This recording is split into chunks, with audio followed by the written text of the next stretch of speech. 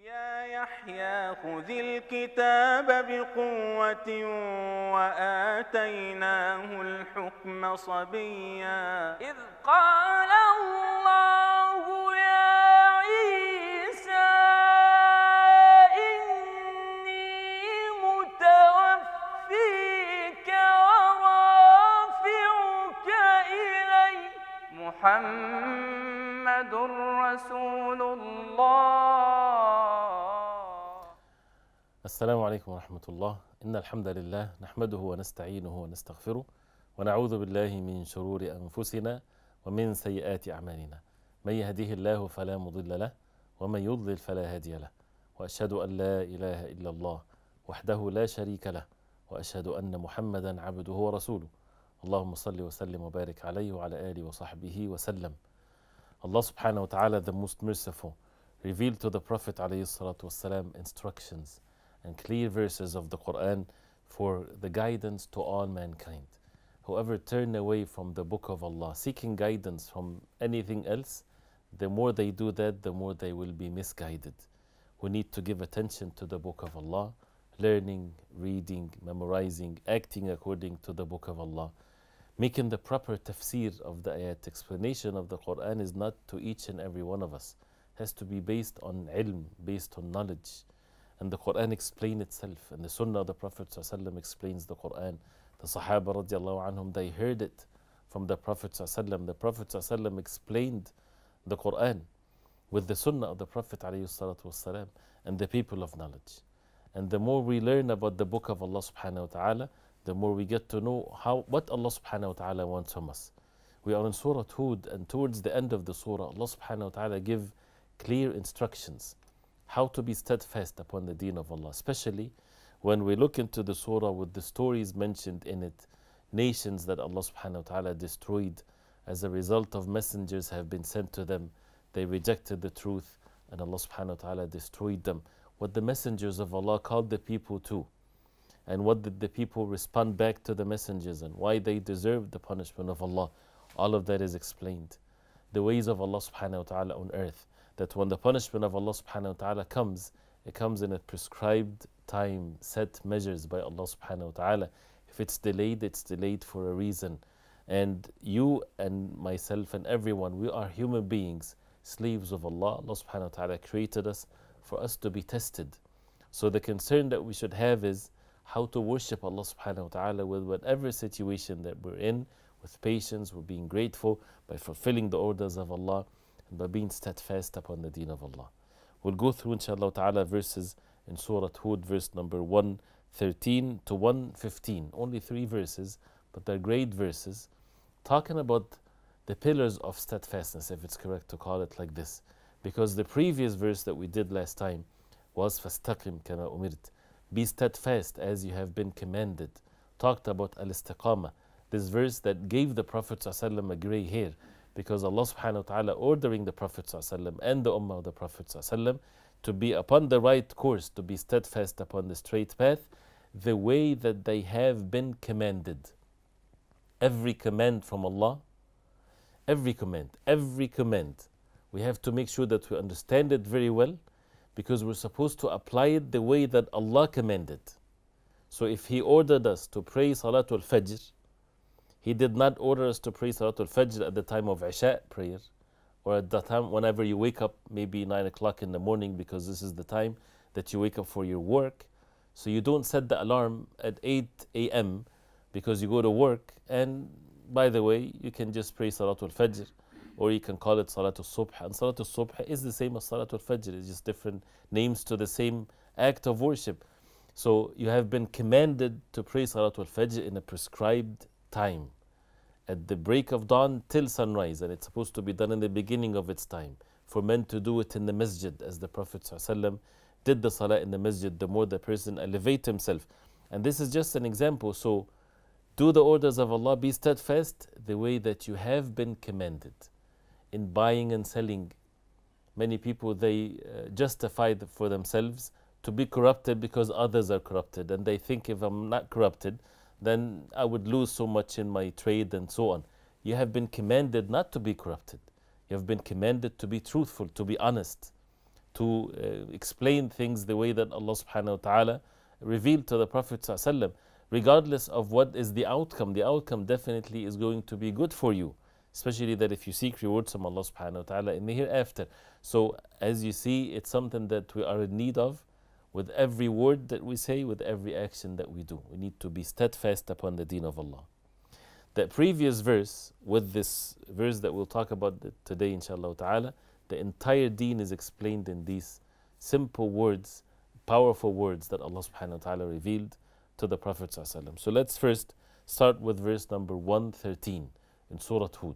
Allah subhanahu wa ta'ala says, ولا تركنوا إلى الذين ظلموا فتمسكم النار وما لكم من دون الله من أولياء ثم لا تنصرون which means and do not incline toward those who do wrong lest you be touched by the fire and you would not have other than Allah any protectors then you would not be helped ولا تركنوا this is something that Allah subhanahu wa ta'ala is forbidding the believers from doing do not incline الركون is to incline upon something. When you lean on something, this is called rukun.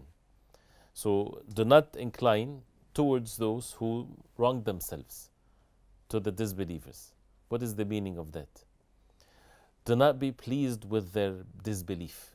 Do not be pleased with their actions. And these are the statements that the ulama mentioned and the Sahaba radiallahu anhum explained and the Tabi'een in the meaning of what is وَلَا تَرْكَنُوا إِلَى الَّذِينَ ظَلَمُوا these are things that explains how, what, what does it mean to incline towards the wrongdoers, the, towards the disbelievers. Do not be pleased with their actions. Do not approve their evil actions. Do not imitate them. Do not depend and rely upon them. Do not follow their ways, right? And so on. So, and it gives the clear instructions do not lean, do not incline. What, why would a person incline or lean towards something? Because it gives him maybe comfort, because a person might think that this can protect me from falling, like a person leaning towards a wall or something like this. Allah subhanahu wa ta'ala is saying, الَّذِينَ ظَلَمُوا Those who wrong themselves, they are upon evil. They have nothing whatsoever to help you with. They would lead you to your own destruction. Right? You deal with them the way that Allah subhanahu wa ta'ala ordered you. Be kind to them, yes. Uh, take care of things that is between you and them if they're not in war against you and so on be just towards them, be kind to your neighbors, and so on. But do not incline in matters of deen, do not imitate them, do not compromise your deen because of them to please them, or even having the zeal that maybe they will get to see the, the truth in the deen of Islam, so let me compromise some of the deen of Islam for them to embrace the deen of Islam. It doesn't even make sense when a person says it like this. So, but we, for us to understand that command وَلَا تَرْكَنُوا إِلَى الَّذِينَ ظَلَمُوا do not incline to those who wrong themselves we have to go to the previous verse because it's all together which is فَاسْتَقِمْ كَمَا أُمِرْتَ وَمَنْ تَابَ مَعَكَ وَلَا تَطْغَوْا be steadfast as you have been commanded upon the right course and those who repented with you وَلَا تَطْغَوْا and do not transgress إِنَّهُ بِمَا تَعْمَلُ بَصِيرٌ indeed Allah subhanahu wa ta'ala is seeing of what you do Hasan al-Basri rahimahullah one of the great tabi'een that his words as it was said, يشبه كلام الأنبياء that his words were so wise that it looks like or similar to the words of the prophets. He said that جماع الدين, the entire deen of Islam, في لاءين, in two laws. La, as you see on the screen, ولا تطغوا, do not transgress. So the entire deen is in two no's, no and no, do not, do not. What is here? ولا تطغوا, the first one, do not transgress. Do not transgress the, the limits. Be obedient to Allah subhanahu wa ta'ala. Do not, do not transgress the limit. What is the second law? What is the second uh, denying here or uh, thing that is uh, forbidden from doing? In the next verse, وَلَا تَرْكَنُوا إِلَى الَّذِينَ ظَلَمُوا The second one is, and do not incline towards those who do wrong.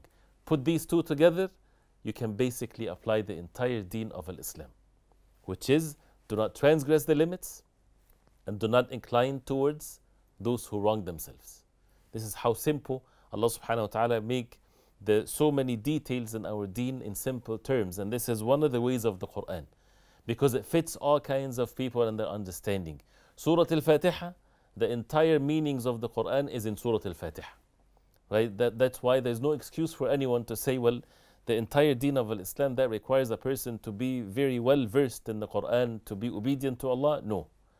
If you know Surah Al Fatiha very well, which is something that you recite every day at least 17 times, no excuse not to know Surah Al Fatiha, you will apply the deen of Islam.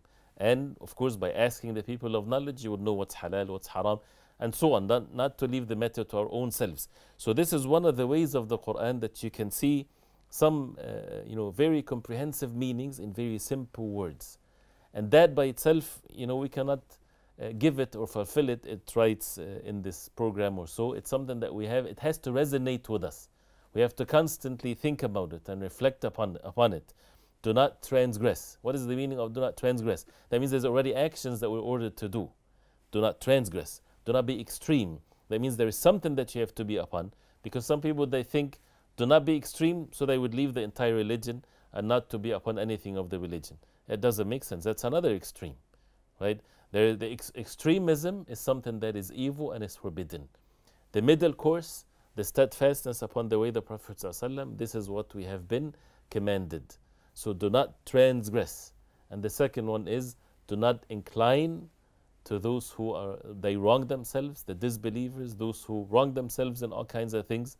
Do not incline towards them. Do not approve their actions. Do not compromise your religion because of them. You will be tested by them. And why this is something that is a clear warning from Allah subhanahu wa ta'ala. ولا تركنوا إلى الذين ظلموا فتمسكم النار Otherwise the fire will touch you. And the mess here, touching is not just physical touching. It means فتصيبكم النار. That means that you will be admitted to the hellfire if you would incline to the wrongdoers. Because what, what is the place of the wrongdoers in the day of judgment? The hellfire. So when you lean on them, when you incline yourself towards them, you will be with them.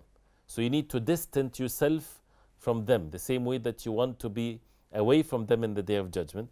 You have to distance yourself, not necessarily physically, sometimes it is, but you have to distance yourself from the actions of those who wrong themselves. You know, Allah subhanahu wa ta'ala says, لا يستوي أصحاب النار وأصحاب الجنة أصحاب الجنة هم الفائزون They're not the like the people of the hellfire and the people of Jannah. The people of Jannah are the successful ones. So they're not the like. And Allah subhanahu wa ta'ala says, وَامْتَازُوا الْيَوْمَ أَيُّهَا الْمُجْرِمُونَ That means separate yourself on that day, meaning in the day of judgment, or criminals. So uh, since you don't want to be with them in the day of judgment, don't be with them in this life, meaning do not be upon their actions. Do not incline towards them. Do not imitate them. Do not approve their evil actions. Do not praise their evil actions. Do not compromise your religion to please them. Please Allah subhanahu wa ta'ala alone. Allah subhanahu wa ta'ala, the hearts of all of the human beings in the hands of Allah subhanahu wa ta'ala. So the clear warnings is very clear. And this is from Allah subhanahu wa ta'ala. And there's always a, a, a misery in, in some of the human beings that we have to eliminate the seed of it from our hearts. Do not put forward our reason and intellect and what we think and what we see before the orders of Allah and the revelation from Allah because Allah subhanahu wa ta'ala if the previous verses does not affect our hearts then what is going to affect our hearts if we heard that Allah subhanahu wa ta'ala إِنَّهُ بِمَا يَعْمَلُونَ خَبِيرٌ Allah is well acquainted of what they do Allah subhanahu wa ta'ala is the all-seer of what they do and He is the creator of the heavens and the earth what does it mean that when a person knows Allah subhanahu wa ta'ala with His names and attributes and then Allah subhanahu wa ta'ala give an instruction, clear instruction, orders from Allah. And then people would think that in disobeying that order, uh, there's goodness in it in their life. So if Allah subhanahu wa ta'ala says, do not incline towards those who wrong themselves, then we have to fulfill the orders of Allah. Otherwise, فَتَمَسَّكُمُ النَّارِ Allah subhanahu wa ta'ala ordered the Prophet alayhi salatu wasalam, to, uh, to be patient with those who remember Allah subhanahu wa ta'ala in the morning and in the evening. واصبر نفسك مع الذين يدعون ربهم بالغداة والعشي يريدون وجهه ولا تعد عيناك عنهم تريد زينة الحياة الدنيا ولا تطع من أغفلنا قلبه عن ذكرنا واتبع هواه وكان أمره فرطا which means roughly means be patient with those who make remembrance to Allah subhanahu wa ta'ala and in the morning and in the evening the believers be patient why because it's not necessarily going to be the thing that you would find yourself inclined to and that's why if Allah subhanahu wa ta'ala forbade us of something, be uh, noticeable that what we are forbidden from doing, there's that means that some urge that inside of us that wants to do the opposite of it. It's like, for example, when Allah subhanahu wa ta'ala ordered the believers to be kind to their parents. It's a very righteous thing. But why there is not too much orders in the Quran that talks about for the parents to be righteous to their children? Because this is in their instinct. They don't need to be uh, ordered to do that because it's already in them. But for the children, they need to have that because they have the urge of the opposite. They want to be independent. They don't, you know, parents are old in age, things like this. So the orders of Allah subhanahu wa ta'ala come for the people to be righteous and stressing that order for them to be patient and to struggle with their own selves. So the same thing, inclining towards those who are wrongdoers, you might have urges in yourself to do so, especially if they're powerful, they have means and so on. So when you hear the Allah subhanahu wa ta'ala forbidding us from this and ordering the Prophet to be patient with those who make remembrance of Allah, you have to fulfill that struggle to be away from what Allah subhanahu wa ta'ala forbid us. We'll continue inshallah ta'ala with more after the break, so stay with us inshallah. محمد رسول الله محمد رسول الله Alhamdulillah, wassalatu wassalamu ala Rasulillah. We'll come back and with verses in Surah Hud, verse number 113 to verse number 115. Pillars of al istiqamah, pillars of being steadfast upon the deen of Allah, very clear instructions, but it need a heart that is uh, ready to receive the orders from Allah, to apply it, and to be patient with it. So, as we heard in the verse, do not incline towards the wrongdoers. And this is uh, comprehensively saying that the deen of Islam is to be like this, to stay away from that, do not compromise your deen. Otherwise, the hellfire will touch you. وما لكم من دون الله more punishment وما لكم من دون الله من أولياء ثم لا تنصرون no awliya for you no protectors for you because Allah subhanahu wa ta'ala is Allah waliyu الذين amanu Allah subhanahu wa ta'ala is the protector of the believers if you incline towards the, the one that wronged themselves right you lose the protection of Allah you basically calling yourself to rely upon Allah. If you rely upon other than Allah, then seek victory from other than Allah. And that would not do anything for you except more misery. But if you rely upon Allah subhanahu wa ta'ala alone, that requires by necessity that you don't incline towards the wrongdoers. So it has to be this way. So you won't have protectors other than Allah subhanahu wa ta'ala. وَمَا لَكُم مِّن دُونِ اللَّهِ مِنْ أَوْلِيَاء You might think that there might be awliya or protectors from other than Allah. It does not exist. It's only in one's perception. In reality, they are their means to the hellfire. Allah subhanahu wa ta'ala might even punish them by making them more established on the face of earth, to be well established on corruption, on wrongdoing, on criminal actions. That's not establishment. It's establishing oneself on the, to be on the path of the hellfire. So, no protectors for them uh, from other than Allah subhanahu wa ta'ala and ثُمَّ لَا تُنصَرُونَ and you would never be victorious.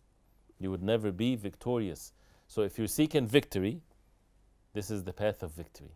The question that many Muslims are confused, they don't have the answers to it because they don't read the Quran in the proper way. The Quran gives us the clear instructions.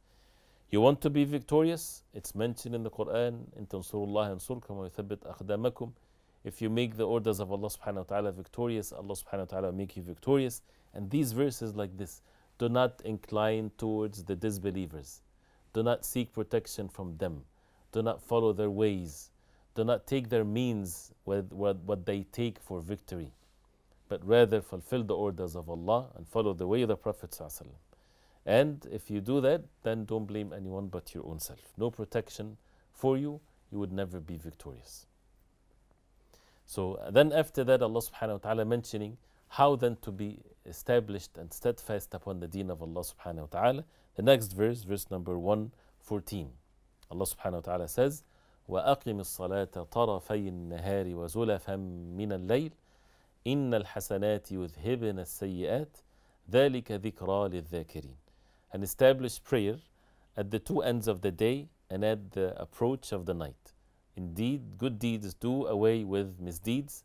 That is a reminder for those who remember. So after the order from Allah subhanahu wa ta'ala in general to be steadfast, the way that you have been commanded, do not transgress, uh, do not incline to uh, to the wrongdoers. Right? If you seek protection, seek it from Allah subhanahu wa ta'ala alone. Then how a person might ask himself a question. How can I be steadfast? How can I establish the steadfastness in the most perfect way? وأقم الصلاة طرفي النهار وزلفا من الليل. Establish the salah at the two ends of the day and in the parts of the night, referring to the five daily prayers. So the Fajr Salah, the Dhuhr Salah, Asr, Maghrib, Isha, all the salawat basically. And if uh, these verses were revealed in Mecca before the establishment of the five daily salah, and how the salah was established differently in the beginning, but at the end, right, establishing the salah, this is the means, of course, to be steadfast upon the deen of Allah subhanahu wa ta'ala.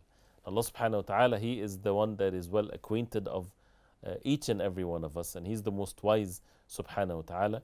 The way that the five daily salah are prescribed is not uh, something that a human being made up, it's from Allah subhanahu wa ta'ala. So it has the perfect means for people to be steadfast. So if all of the believers they get together to try to discuss how to be steadfast upon the deen of Allah, they can never come up with anything other than what Allah subhanahu wa ta'ala commanded them, and one of which is the salah. What is the relationship between the salah and victory and well established and to be protected? It's all connected. And that's what the verses is teaching us. So establish the salah. If Allah subhanahu wa ta'ala will, He would have made the salah during the day only. Or during the night only when you're done with your work and during the day you do your job, you enjoy yourself. And then when you come home before you go, go to sleep, just some prayers that you say before you go to sleep and that, that's cool, that's, that's good enough for you. That's not the case. This is how the, the people deviated from the truth from the nations before. When the ibadah to them, when the worship of Allah is maybe one day in, in a week or one hour in, in one day of a week. And they would feel that they're satisfied with their worship of Allah subhanahu wa ta'ala.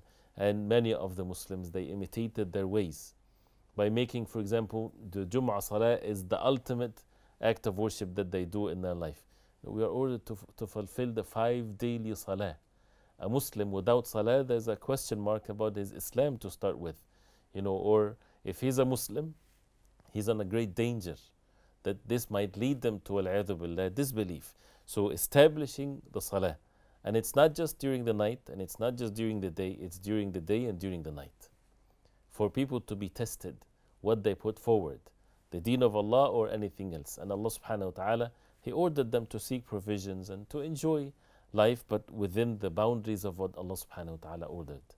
And that's why the salah forbids the person from uh, transgression and from sins, as Allah subhanahu wa ta'ala mentioned in the Quran. Allah subhanahu wa ta'ala, even when you reflect upon the times of the salawat and how on the two ends of the day, you know, there's big gap between Salatul Fajr and Salatul Dhuhr. This is the time where the provisions are distributed for people to seek provisions from Allah. And how things are between Dhuhr and Asr and then Asr and Maghrib, then Maghrib and Isha, and then Isha prayer, and then you have the night time. So there's always going to be time for the person to do whatever is permissible, whatever means for the person to establish the deen of Allah subhanahu wa ta'ala. So after mentioning the obligations to establish the salah, that's by itself is a huge subject of how to do that. Then Allah subhanahu wa ta'ala says, and that's how to perfect al-istiqamah. This is how to perfect the steadfastness upon the deen of Allah. إن الحسنات يذهبن السيئات. That al-hasanat, good deeds, يذهبن that means uh, do away with the misdeeds, pushes away the misdeeds. There is hasanat and there is sayyat. There are good deeds and there are bad deeds. This is how life is, right? And for someone to claim that they would never ever had any misdeeds or good or bad deeds, they're liars because human beings are bound to make mistakes. As the Prophet ﷺ, he said, كل ابن آدم خطاء وخير الخطائين التوابون that every son of Adam is khata. Khata is not just one time, is many times, all the time. But then the best of the sinners are those who repent to Allah. So this is the fiqh, this is the understanding of how to deal with our bad deeds. What to do with our bad deeds. We all have bad deeds. Right? First of all, we should not intentionally and pl plan and take the path of bad deeds. A person would say planning for his day or for his life, you know, I would have some bad deeds and good deeds and the bad deeds are this and this and that and this is not permissible, of course, and this is a dangerous thing for a person to do that because that can take over and a person can be even more and more misled. But rather, yes, it's something that is inevitable. People would fall into the bad deeds. right? A look here or there, something, weakness of one's self. So, how to deal, what the proper understanding of dealing with the bad deeds because it stays with us. And the previous verses that talked وَإِنَّ لَمُوَفُّوهُمْ نَصِيبَهُم غَيْرَ مَنْقُوصٍ Everybody will be given in full their actions, their rewards, and so on. So, what to do about it? Don't just live your life or thinking, I repented to Allah, I become or I start practicing the deen of Islam when I was 25. But then, where were you when you reached the age of puberty? Till you were 25 or 30 or 40. This is not forgotten. Yes, the repentance wipes away what's before it. But we need to have the understanding of how to wipe really the bad deeds in our life. If a person didn't make salah, then he should make up the salah. If there is money that he took from others that he did not have the right to do so, has to be returned in a specific way or in a different way. Asking the people of knowledge how to really push away the harm of the misdeeds and not just to rely on the fact that now I'm not doing the good, the bad deed. So the ayah teaches us that one of the ways to push away the bad deeds and the effect of the bad deeds is by doing hasanat. إن الحسنات يذهبن السيئات that al hasanat good deeds they do away with the misdeeds as Allah subhanahu wa ta'ala when he mentioned the major sins killing and zina and fornication and so on Allah subhanahu wa ta'ala says that the, whoever does this he will be in the hellfire and will be punished and so on إلا except إلا من تاب وآمن وعمل عملا صالحا فأولئك يبدل الله سيئاتهم حسنات except those who repent and they believe and they do righteous good deeds these are the people that Allah subhanahu wa ta'ala will exchange, replace their bad deeds with good deeds. So, this is an amazing way of showing the mercy of Allah. Bad deeds is not just that they're going to be wiped away, no, they will be replaced with good deeds. So, the bad deeds that a person did in his life, right, it's not going to be just wiped away, it's going to be replaced with good deeds. What amazing rewards from Allah subhanahu wa ta'ala. But with what, under what condition? إلا من تاب uh, unless a person repent to Allah and believe and do righteous good deeds. So one of the blessings of doing hasanat that it doesn't just wipe the bad deeds, it replaces the bad deeds in one's account with good deeds. Right? So we have in this life, we have to look at our life as you're adding to your account. Everything that we say, every action that we do, this is something that you add in your account and your account you will see it in the day of judgment the book of deeds. Everything is there everything is written. The bad deeds stays unless a person repents to Allah subhanahu wa ta'ala. See how the mercy of Allah. That the one that repent to Allah subhanahu wa ta'ala as if he did not commit the sin so that will be wiped away so we need to our job in this life is not just to do good deeds but to make sure that we wipe the bad deeds and one of the ways to wipe the bad deeds from our book of of deeds is to do good deeds. And the most important and the most obligatory act of good deeds in that case is repentance, repenting to Allah subhanahu wa ta'ala. So this is a concern. This is the way that we have to look in things. But someone might ask, but what about the sins that we forgot uh, about it? We, we were young. We did not really remember what we did in every day in our life. If the things that the things that you remember need to repent to Allah subhanahu wa ta'ala from it. Major sins need a specific repentance to Allah subhanahu wa ta'ala from. Rights of human beings has to be fulfilled. Kafarat, expiations, feeding a poor, fasting, whatever there is with the rulings, asking the people of knowledge for the person to fulfill that.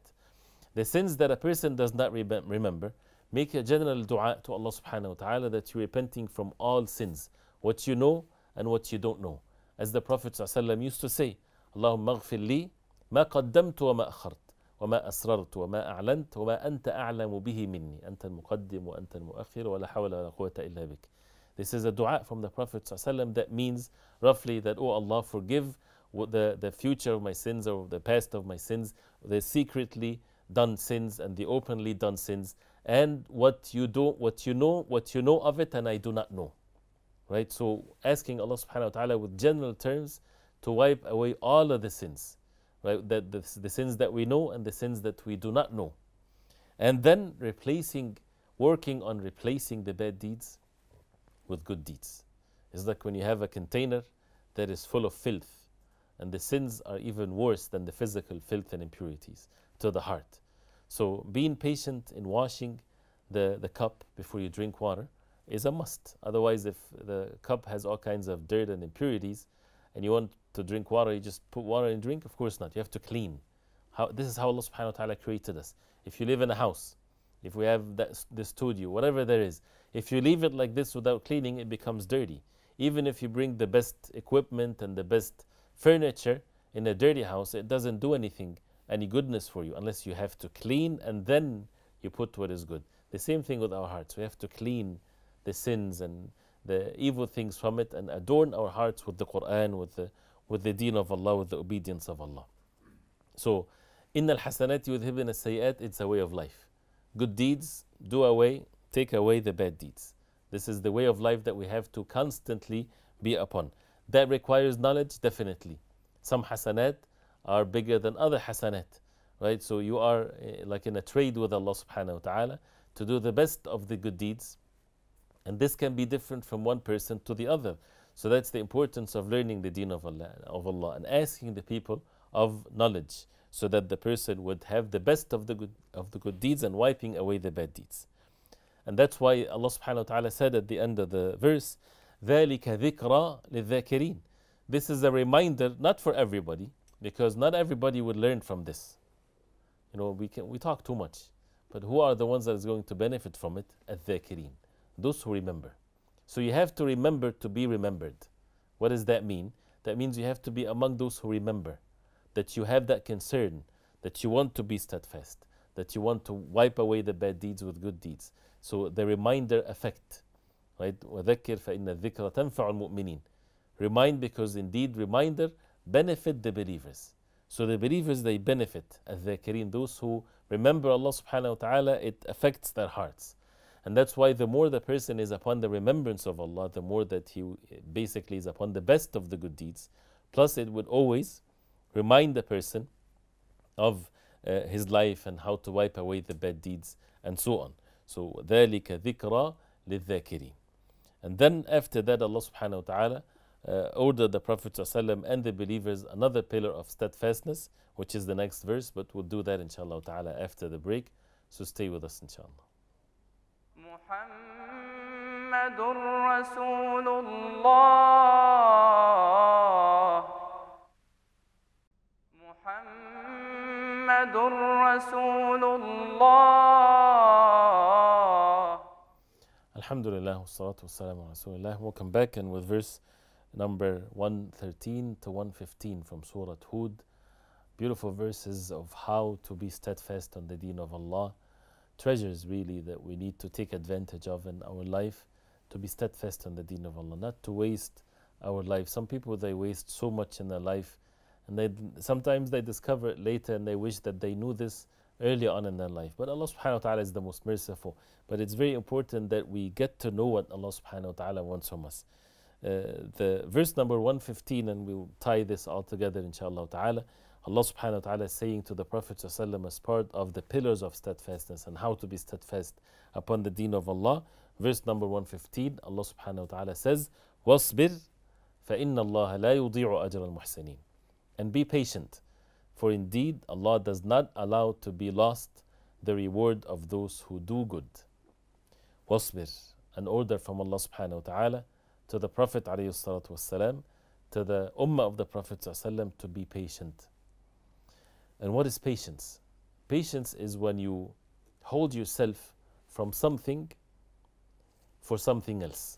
Not holding yourself for the sake of holding yourself, but you hold yourself back from something, maybe tempting, maybe something that might look like it's something to be indulged in, but you're holding yourself back for something else, for a better thing, or for, for something that is benefiting because this, what you're holding yourself back from, might be harmful to you. And people understand, human beings, they understand that very well in their life. It depends on what is really uh, filling the hearts of the people, whether it's this worldly gain or the hereafter. If a person is studying for his exams, for example, and this is the last year, and he's been getting, you know, straight A's in his grades, and this is the last exam, and tomorrow is ex his exam, right? And that night he has to study something, and it's coming in the exam, and either he will pass or he will fail and ruin, you know, many of his work that he did. So imagine while he in that in that state, some or one of his friends call him, let's go out and just, you know, even doing something permissible, Let's go, go out and walk, for example, right? And he has things to do. He would never agree to do so. He will be patient, even though his own self, he desires maybe to do this because this is something that he likes to do. But he would, he would hold himself back for something else. Why? Because he knows the, the reality of what he's doing and the outcome of that patience. Otherwise, if the next day he doesn't do good in the exam, right, the, the fun or the walking or whatever there is will go away. But what he would he would stay with misery. So that's why he should be patient. So the end of things definitely is what's best for those who are patient. So be patient, wasbir.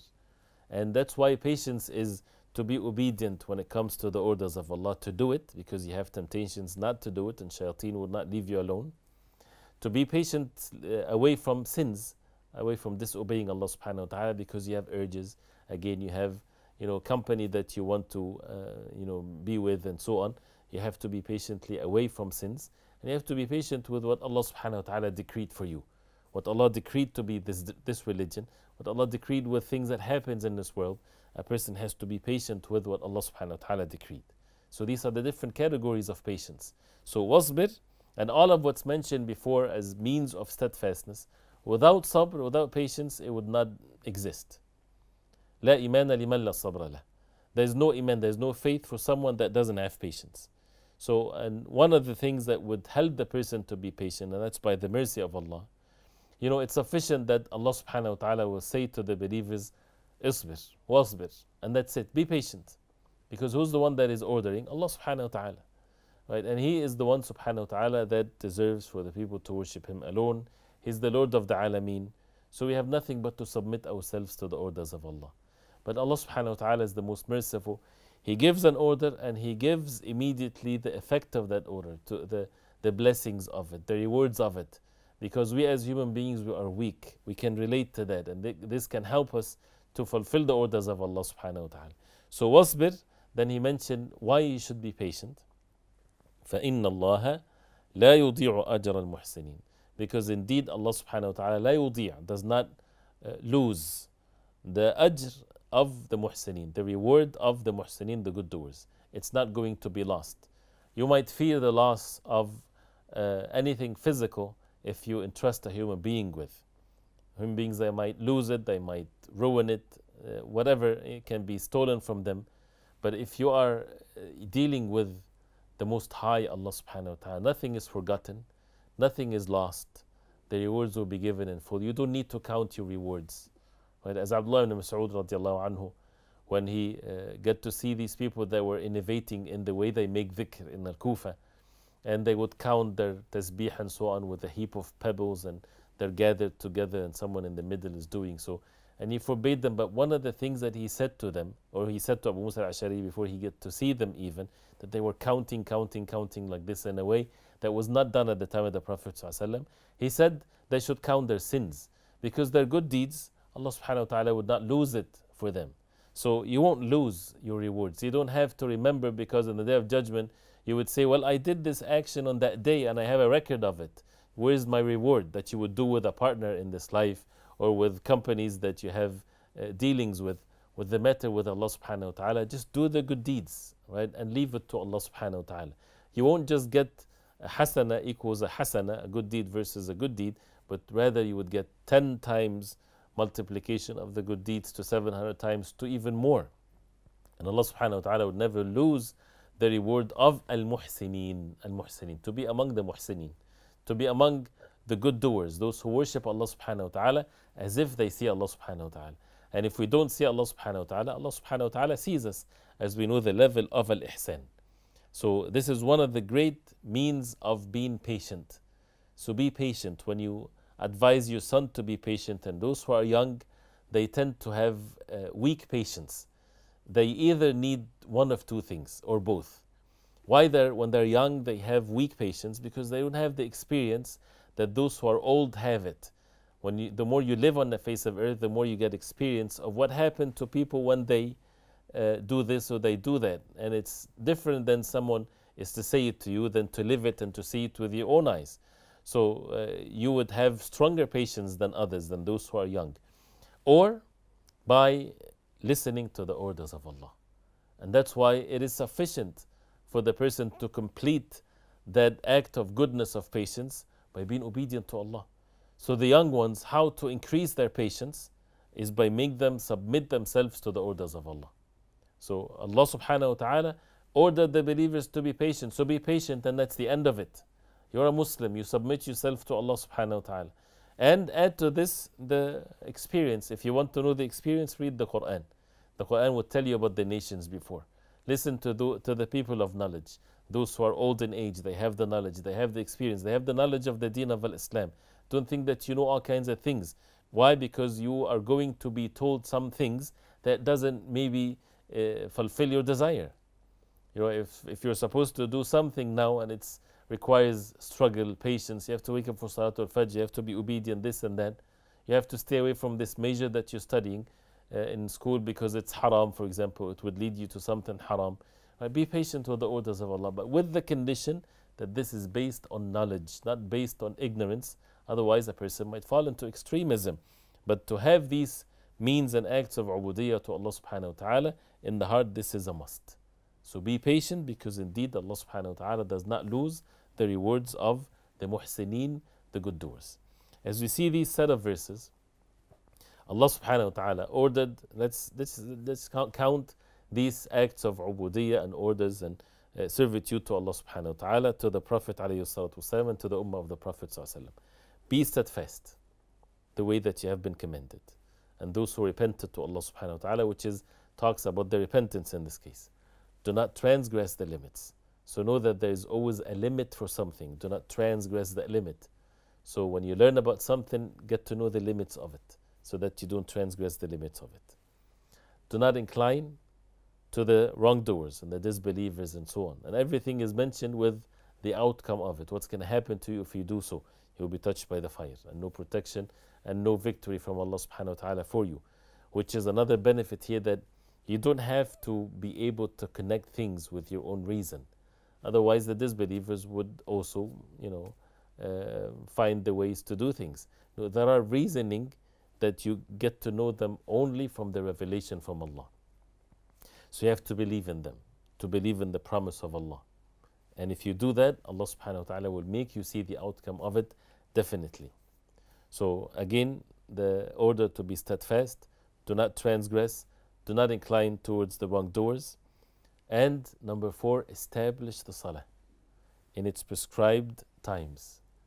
And part of that order is to do the good deeds that would wipe away the bad deeds. And the best of all of these good deeds, the matters of belief, as-salah, and so on. Salah also, as we know, that in the salah tanha anil fahsha'i wal munkar. Salah forbids the person from the evil sins and so on. And the Prophet gave an example because that's what the ayah also means.